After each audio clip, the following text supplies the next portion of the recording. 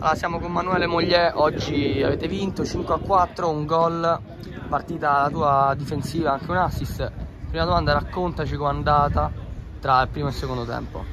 È stata una partita tosta, chiaramente nel secondo tempo è uscito fuori il loro ritmo che è una cosa che noi purtroppo soffriamo, loro l'hanno messa sull'intensità, siamo stati bravi a indirizzarla bene nel primo tempo e siamo riusciti a portare la vittoria a casa.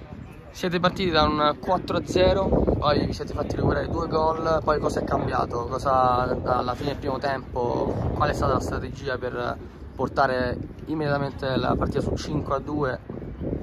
È cambiata la testa nostra, abbiamo sbagliato, abbiamo sottovalutato l'avversario che infatti poi alla lunga è uscito fuori e abbiamo sbagliato sotto l'aspetto dell'intensità, uscita la loro intensità e quindi poi l'abbiamo sofferti. Bravi noi, anche fortunati nell'indirizzarla anche nel secondo tempo e poi alla fine è stato ottimo portare a casa il risultato. Allora, ti facciamo i complimenti, hai toccato al primo tempo un pallone, l'hai messa immediatamente dentro, poi un grande assist per Dionisi, molti movimenti, allora in bocca al lupo per le prossime partite. Crepi, grazie.